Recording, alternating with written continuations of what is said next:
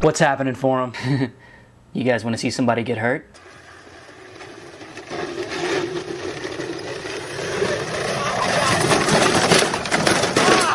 And what's funny is my cousin and I used to race Power Wheels like that when we were really young. But the difference is he didn't wreck and run over my head.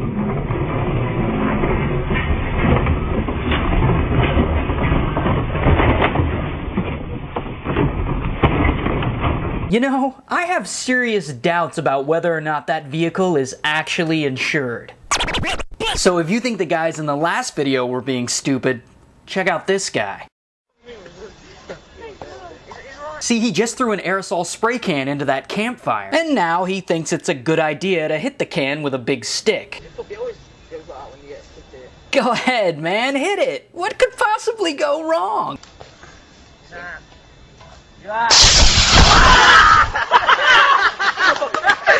Oh, that's right. The can could explode right in your face. Now, I really like this final video because I have never really shown anything like it before. And the video is pretty simple. A guy has a little bit too much to drink, and he stumbles into a convenience store.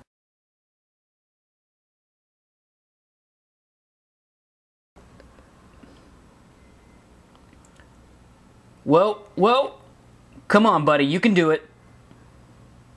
Oh, which handle is it? Oh, dope! Son of a...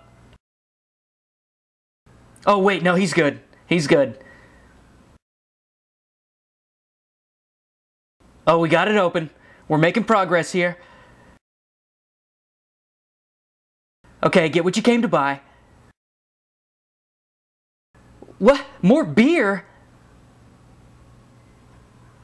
All right, all right now, just just make it over to the register.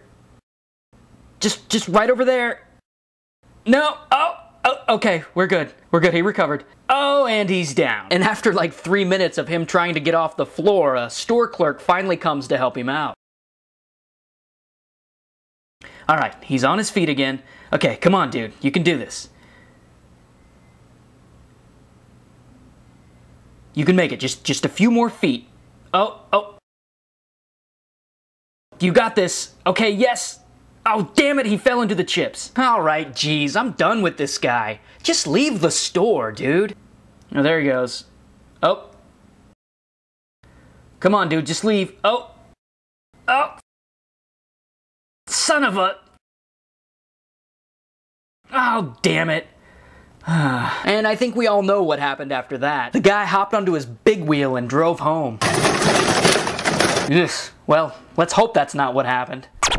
You know what time it is for him. It's time for the comment question of the day, which comes from a user named Kyle's Planet. And he said, My question for you is what's the craziest thing you would do for a million dollars? So, what is the craziest thing you'd do for a million dollars? Leave your interesting or creative responses in the comments section below.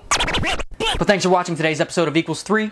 I'm Ray William Johnson and I approve this message. Oh, and Fatty Spins has a new song out. Link is at the top of the sidebar. Go check it out, enjoy, and I'll see you guys in a few days. So tell me, Forum, if you could invent a new animal, what would it be? You know we straight with doing your mind.